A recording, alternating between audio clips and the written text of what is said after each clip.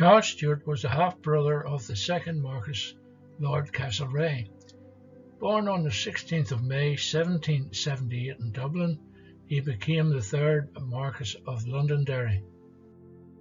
He was educated at Eton College and at the age of 16 was commissioned into the 5th Royal Irish Dragoons and helped put down the Irish Rebellion of 1798.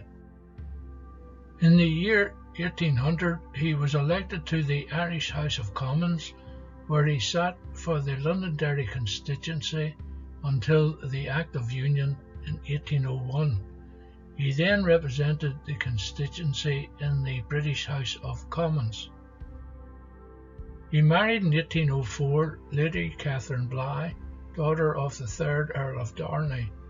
They had one son, Frederick, born on the 7th of July 1805 in London.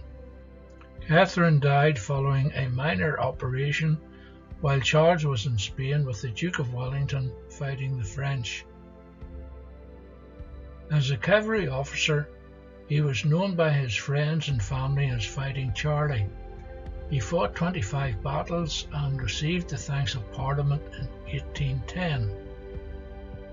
On the 20th of November 1813, he was made Colonel of the 25th Light Dragoons, becoming a Knight of the Bath that same year.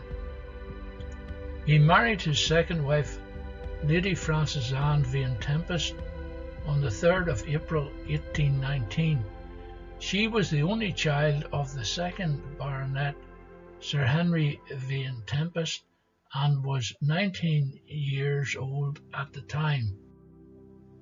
She was believed to be the richest heiress in Britain, and a condition of her father's will was when she married, her husband would have to change his name to take their family name Vane. Wynyard Hall was the family seat of Frances Anne and became their main residence in Durham. She also inherited 65,000 acres of land in the northeast of England, which included coal mines from which she received an annual income of over £33,000. She also inherited property and lands in County Antrim in Ireland. After the Napoleonic Wars, Charles was appointed ambassador in Vienna and Berlin, and both he and his wife, Frances Anne, spent a lot of time on the continent. He became the third Marquess of Londonderry after the death of his half-brother, Lord Castlereagh, in 1822. In 1842 he was appointed Lord Lieutenant of Durham and the following year became Colonel of the 2nd Regiment of the Life Guards. He was made Knight of the Garter in 1853. Charles and Frances Anne purchased a London residence in Park Lane. The couple had six children.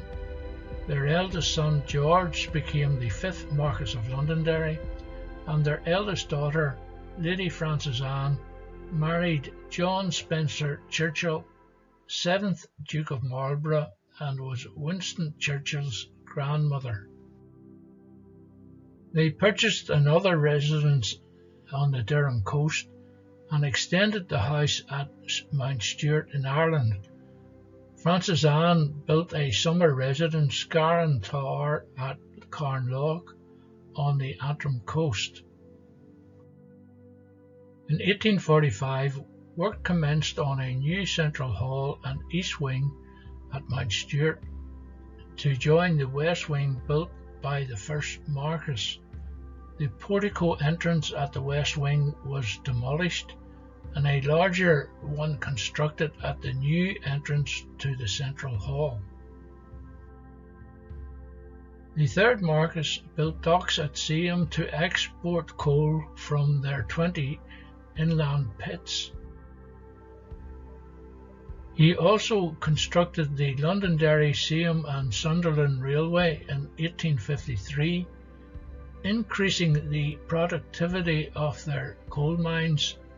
The revenue from the pits increased to over £55,000 per annum. The third Marquess of Londonderry died on the 6th of March 1854 and was buried at Wynyard Hall in Durham. Frances Anne had a monument built in the main square at Durham. It depicts the Marquess as a cavalry officer.